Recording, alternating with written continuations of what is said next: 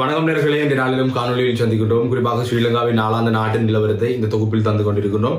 இன்றைய நாளிலும் பேசுவதற்கு பல்வேறுபட்ட விடயங்கள் இருக்கின்றன. எரிபொருள் தொடர்பில் தான் அதிகம் கவனம் செலுத்தப்படுகிறது. அதேபோல் அனைத்து ஊடகங்களிலாலும் தற்பொழுது பேசப்படுகிற ஒரு பேசுபொருளாக இருக்கிற விடயம் இந்த எரிபொருள். அது தொடர்பில் தான் முதலில் பார்க்க போகின்றோம். எரிபொருள் இறக்குமதி மீதான வரிகளை தற்காலிகமாக ரத்து செய்யாவிடின் ஒரு லிட்டர் டீசலின் விலையை ஐம்பத்தி இரண்டு ரூபாவினாலும் பெட்ரோலின் விலையை பத்தொன்பது ரூபாவினாலும் அதிகரிக்க நேரிடும் என வலசக்தி துறை அமைச்சர் உதய கமன்புல தெரிவித்திருக்கின்றார். தற்போதைய நெருக்கடியான சூழ்நிலையில் எரிபொருளுக்கான வரி விலைக்கு வரி விலக்கு வழங்க வேண்டும் என்றும் எரிபொருளின் விலையை அதிகரிக்க வேண்டும் என்றும் அவர் தெரிவித்திருக்கின்றார். இவ்விரண்டையும் செயற்படுத்தாவிடின் எரிபொருள் கொள்வனவிற்கு ஸ்ரீலங்காவில் பாரிய பாதிப்பு ஏற்படும் என்றும் தெரிவித்திருக்கின்றார். ஆகவே நான் இரண்டு மூன்று நாட்களுக்கு முன்னர் கூறியது போல ஸ்ரீலங்காவில் இந்த எரிபொருட்களின் விலை விலை உயர்த்தப்படும். அது இவ்வளவு காலம். இந்த வரலாற்றில் இதுவரையான கால பகுதியில் விலை உயர்வை விட மிக நீண்டதொரு விலை உயர்வாக இது இருக்கும் என்பதில் மாற்று கருத்துக்கள் இல்லை.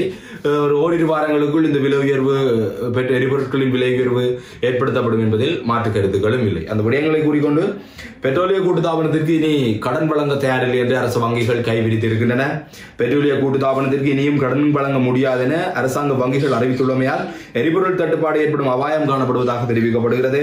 இலங்கை பெட்ரோலிய கூட்டுத்தாபனம் ஏற்கனவே எழுபத்தி ஐயாயிரம் கோடி ரூபாய் கடன் சுமையுடன் இருப்பதனால் அதற்கு மேலதிகமாக கடன் வழங்க முடியாது என மக்கள் மற்றும் இலங்கை வங்கிகள் தெரிவித்திருக்கின்றன. ஏற்கனவே அரசு வங்கிகளுக்கு இலங்கை பெட்ரோலிய கூட்டுத்தாபனம் முப்பத்தி ஏழாயிரம் கோடி ரூபாய் செலுத்த வேண்டியிருப்பதாகவும் தெரிவிக்கப்படுகிறது ஆகவே நாட்டின் கடன் சுமையை பாருங்கள். அரசாங்க அதாவது அரசு வங்கிகளுக்கே பெட்ரோலிய கூட்டுத்தாபனம் இவ்வாறானது ஒரு கடன் சுமையில் தான் இயங்கிக் கொண்டிருக்கிறதாகவே உதய கமன்பில கூறியிருப்பதும் ஒரு வகையில் நியாயமான கருத்தாகத்தான் இருக்கிறது. டீசல் ஐம்பத்தி ரெண்டு ரூபாவினாலும் பெட்ரோல் பத்தொன்பதாவது ரூபாவிலும் கூட்டப்படுவது எந்தவித மாற்று கருத்துக்களும் இல்லை என்பதை கூறிக்கொண்டு விரைவில் இந்த முகக்கவசங்கள் இல்லாமல் பொது இடங்களுக்கு அல்லது பொது வழிகளுக்கு நாங்கள் செல்லக்கூடிய நிலைமை ஏற்படுத்தப்படும் என்று அறிவிக்கப்பட்டிருக்கிறது.